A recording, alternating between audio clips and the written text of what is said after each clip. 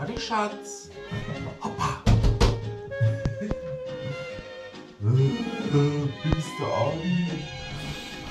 So, willkommen zurück zu einer neuen Folge auf meinem Kanal Ramses der Dicke. Und wir machen wieder mal ein Adventskalender-Türchen auf. Heute ist es irgendwie mega dunkel draußen. Keine Ahnung, was da wieder los ist. Angefangen natürlich wieder mit dem Adi seinem Adventskalender. Heute ist Türchen Nummer 8 glaube ich. Die 8 ist auf jeden Fall hier unten. Die machen wir jetzt erstmal auf. Gucken da mal rein, was da drin ist. Und das sind diesmal runde Kekse, beziehungsweise sind das richtig viele, oder? Adi, guck dir das mal an. Jetzt hätte ich dir fast noch den Kalender in die Schnauze ge... Mmh. Das schmeckt, oder? Mmh.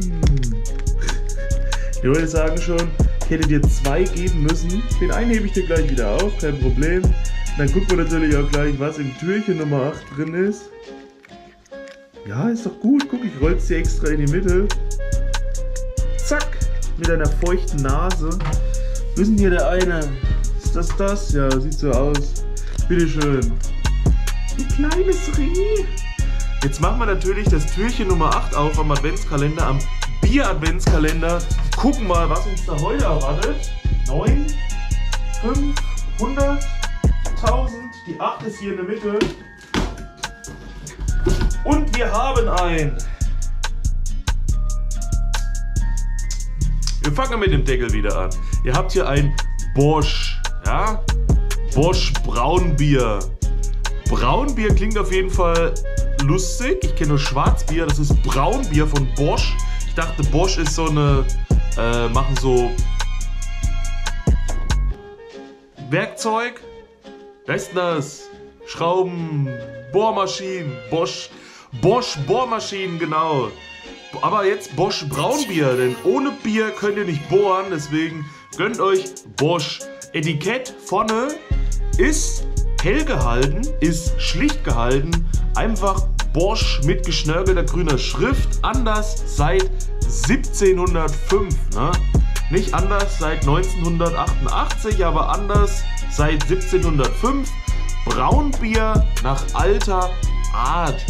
Das ist mir aber schon wieder fast ein bisschen zu schlicht. Ich kann mich diesmal wirklich gar nicht entscheiden. Bei manchen Etiketten, die finde ich zu dunkel, andere finde ich zu hell, andere finde ich zu schlicht, andere finde ich zu überladen. Ich glaube, ich werde diesmal gar nicht das perfekte Etikett finden, wo ich von Anhieb mich drauf verlieb und sage, das ist es, so muss es aussehen.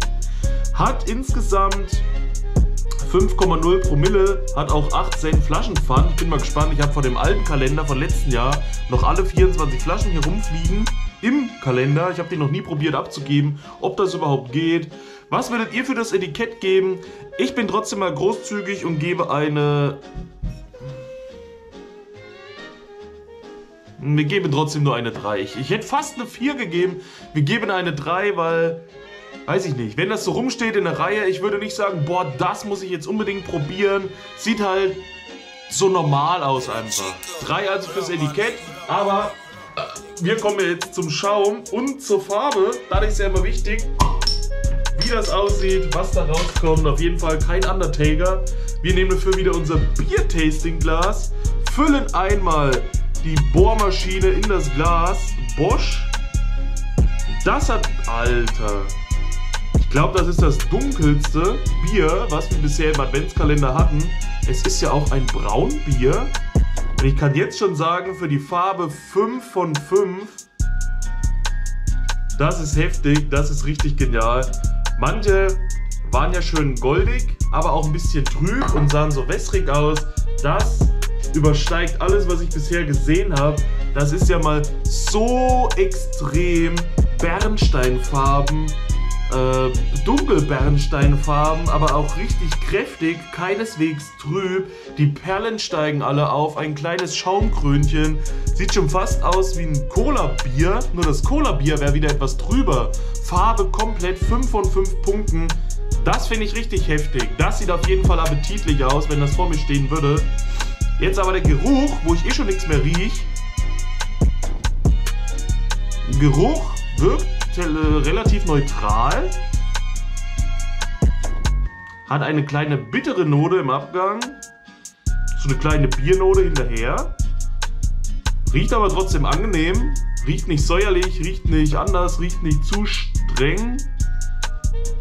Hat eigentlich eine, eine gute Biernote, sagen wir mal. Bei Geruch würde ich jetzt selbst auch 4 von 5 Punkten geben. Wie riecht ein 5er Bier? Ich weiß es nicht.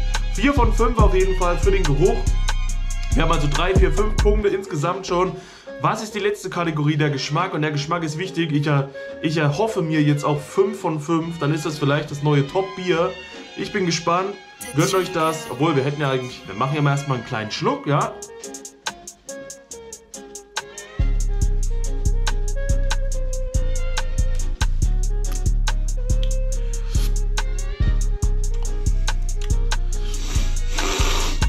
Okay, Geschmack hält leider nicht mit, mit der Farbe. Ich weiß nicht, irgendwo bei den, bei den Amis oder so, die stehen alle so auf Light Biere, die so ein bisschen wässrig schmecken und erst im Abgang dann so ein bisschen bitteren äh, Biergeschmack haben. Das ist für die immer original, so muss das sein.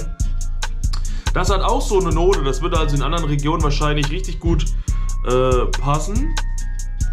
Man kann es dadurch natürlich gut trinken. Ihr könnt jetzt ein Liter trinken und denkt, ihr habt Wasser getrunken während des Trinkens, bis ihr absetzt, habt dann erst einen bitteren Nachgeschmack. Äh. Ich möchte aber eigentlich, wenn ich Bier trinke, beim Bier trinken schon merken, dass ich Bier trinke. Da fehlt mir leider irgendeine Präsenz, die ich jetzt nicht habe. Also statt Präsenz kommt es unscheinbar daher, entwickelt sich danach zu einem Bier. Ist für mich nicht optimal gelöst, geschmacklich.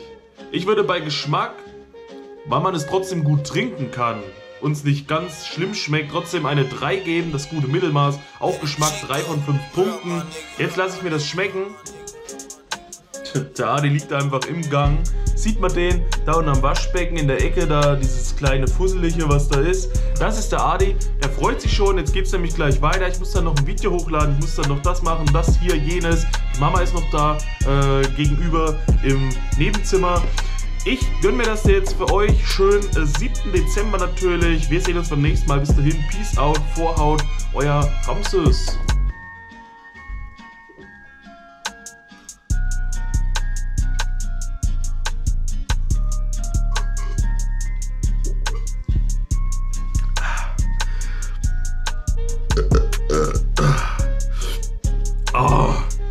Das schmeckt mir.